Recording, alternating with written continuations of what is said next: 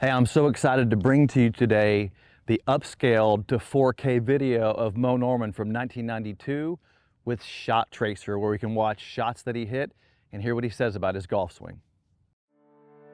So there's no better feeling knowing that when you wake up in the morning to go play golf, so that you're going to play well. There's no better feeling of hitting good golf shots down the fairway.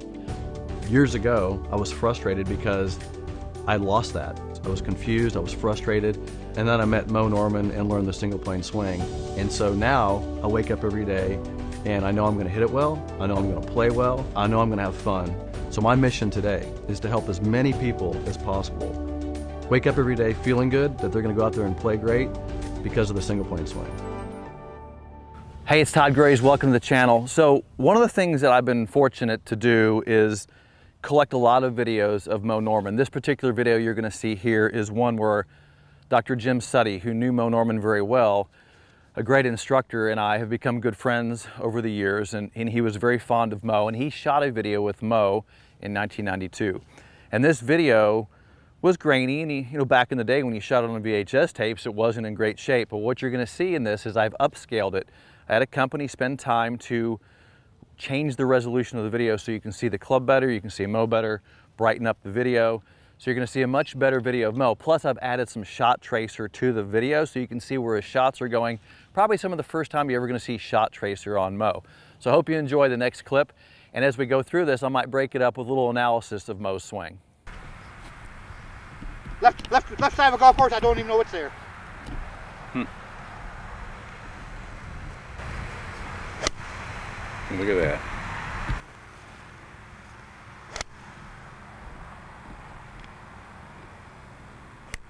About moving your head. What do you think about that? Oh, shit. What was Nicklaus told me by Grout when he was a kid? Yeah, keep it still.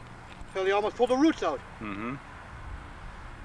What were we ever told in this game? Keep your head still. Yeah. Yeah, mine's like a rock, watch. amazing. That's amazing. See how straight his arms are? Yeah. That's so he gets on one plane. He doesn't have to, he can stay on that low plane.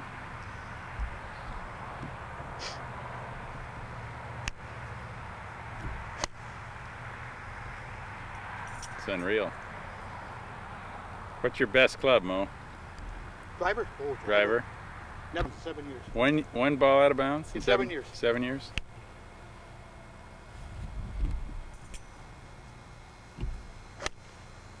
What happened on that one ball? Little hook. Uh -huh. Little.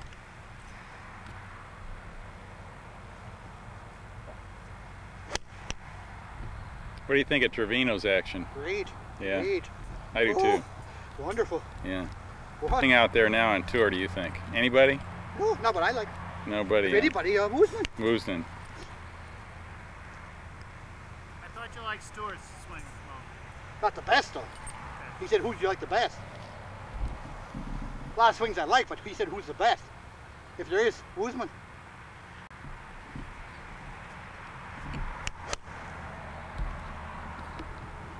It's amazing, isn't it?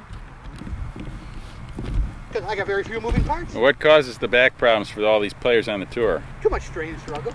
Because they're torquing their back Too and using their legs? Struggle. Yeah. Every muscle not help. They don't they don't do the main thing in golf, what I do. Mm-hmm. Let my swing balance me. Mm-hmm. I'm the only golfer living that lets my swing balance me. Mm-hmm.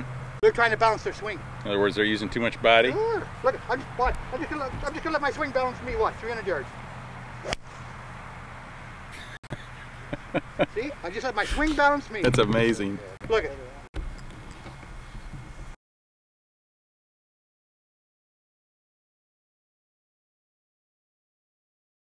If you look down the line, here's what's so beautiful about, about the single plane swing is Moe starting the club on the impact plane. So you see him starting a club lined up with the arms correctly here. You see the lead arm above the trail arm.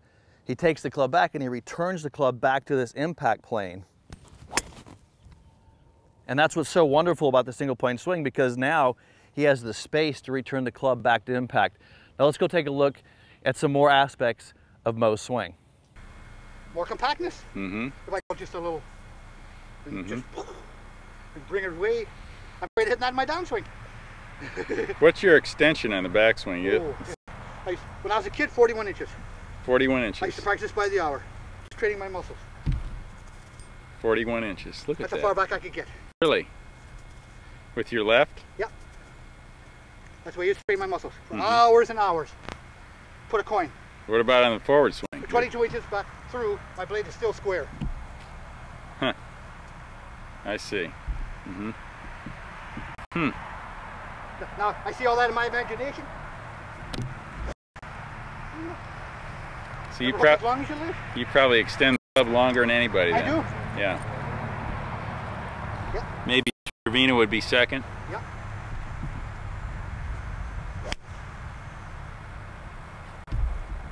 Hmm.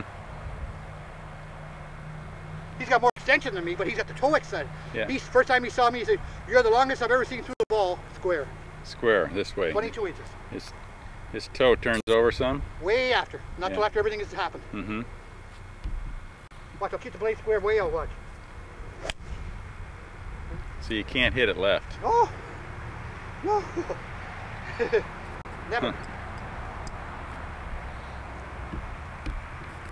Never left the center. Mm-hmm. Either dead center or a little right. Watch, a little right or dead center. That's dead center. You don't physically try to drop the club. It just happens because of leg. Oh yeah. Yeah, leg action. When, when I was a kid, I did. Oh, I used to You try- stay there for five, ten minutes. Just Dropping it? stay there like that. Mm-hmm. Used to stay like that for five or ten minutes. Mm-hmm. Just trying to keep your legs flexed. Kind of. In a sitting position. Mm-hmm. You don't think then that like the they're teaching that the the left side dead motion. it's not coming up, is It's it? too much dead motion. Uh huh. I They, see. they're swinging around the ball, not through the ball. Mm-hmm. In fact, they're not swinging at the ball, they're hitting. Mm-hmm. Last thing in my mind is hitting the ball. Swing at it. Watch, here. Mi- Million dollar swing, watch. It is pretty good. Million dollar swing. I can't argue with you. Tell me. Especially you got it on film too. You think Yeah. it was luck here? No argument Watch here. again. Million dollar swing.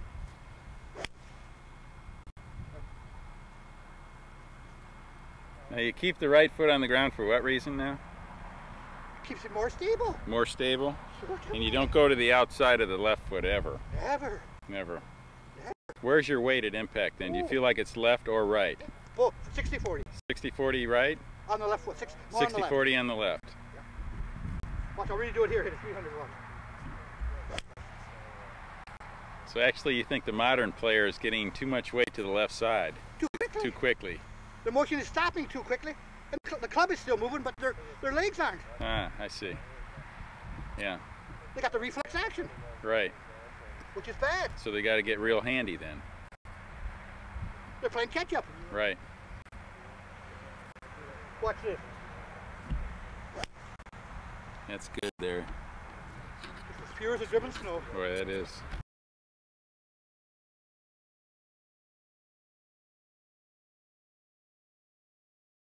You know, I want to talk about swing plane in this section because this is kind of a misnomer for a lot of people. What is swing plane? And here's what it comes down to.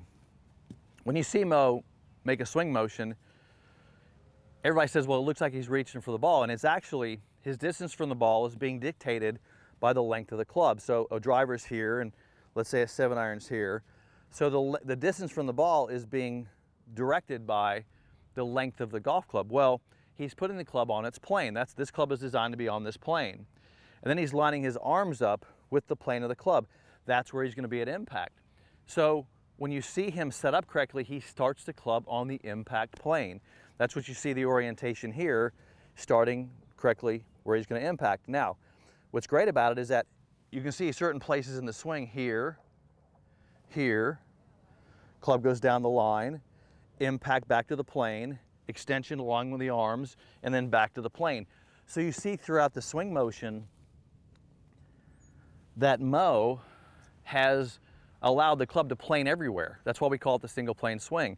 This single plane orientation is what makes it so much easier for Moe to square the face at impact. Well, why is that? Why is the face square up easier with the, with the proper speed with Moe's swing. Here's why. Because he's moving the body in the least amount of motion possible to produce the proper path of the club. Let me say that again. He's moving the body the least amount necessary to get the proper path of the club and because of the position of his body, it orients the face to a square position more consistently because of his tilt. How is he doing that? Well, let's just talk about body motion then. If I put the club on its impact plane to start and I take it back, that's the least amount of rotation I can have to effectively bring the club back down and square the face. For example, you would say, well, that's less rotation, Todd. However, in the downswing, that, that plane will not hit a golf ball. I have to actually put the club onto a plane and then bring it back down. So if you didn't have rotation, you would have to create it. Well, you're creating rotation during the motion, right? Now that's where you get in trouble because if I don't have, let's say I had a steep plane, which is less rotation here in the backswing, I've got to increase that amount of rotation coming down while I'm in motion. What you want is the ideal amount of rotation going back so it has less deviation, that's what I call it, deviation, coming down to square the club. So I want the most efficient. That's, that's a term that you have to use, efficiency. Efficient back, efficient down. So the most efficient motion. So watch this again. I set up on the impact plane, efficient back and efficient down, and it makes it super easy to get the club back to impact. That's what you see, and that's why swing plane is such an important part because swing plane is starting the club where you want it at impact, least amount, most efficient motion of the arm, most effective way to square the face, most effective use of the arms during the swing, which is why we call it swing plane. Hope you enjoyed that content today. Give me a bell icon, hit the bell icon, give me a thumbs up. Hit subscribe if you enjoy this content because I'm going to teach you more about Moe Norman and the single plane swing.